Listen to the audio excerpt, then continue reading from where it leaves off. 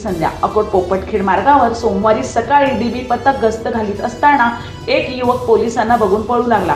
तो का पळाला याची शहानिशा करणे कामी डीबी पथकाने जाऊन त्या ठिकाणी पाहिले असता तेथे एक पिशवी त्यांना मिळाली. त्यामध्ये बघितले आता त्यामध्ये एक साप दिसून आला. याबाबत ठाणेदार मिलिंद कुमार बहारकर यांनी माहिती मिळाल्याने त्यां- त्यांनी अक्कोट वन्यजीव विभागाला कळविले. सुमारे सहा फूट लांब असलेल्या सापाला बघण्याकरता एकच गर्दी झाली होती. ठाणेदार बहा बहाकर यांनी सर्पमित्र गणेश गंगातिरे यांनी सुद्धा बोलावून घेतले.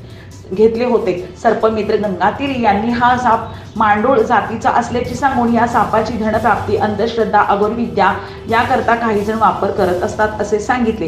पोलिसांनी सापाला वन विभागाकडे दिले. ग्रामीण पोलिसाच्या चोख कर्तव्यामुळे एका सापाला जीवदान मिळाल्याची असल्याची चर्चा सर्वत्र सुरू होती.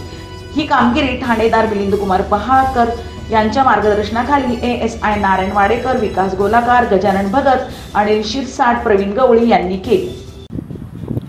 पोस्टे अकोल ग्रामीण हद्दीतील ग्राम कोपरखेडे या भागात पेट्रोलिंग करत असताना आमचे डी बी पथक जे आहे एस आय नारायण वळेकर त्यांचे इन्चार्ज आहेत ते आणि त्यांची टीम हे पेट्रोलिंग करत असताना त्यांना दहीखेड फाट्याजवळ जसे हे दहीखेड फाट्याजवळ पोहोचले तसा एक इसम त्यांना पाहून पळून गेला. त्यांना संशय आला म्हणून त्यांनी त्या ठिकाणी जाऊन पाहिलं.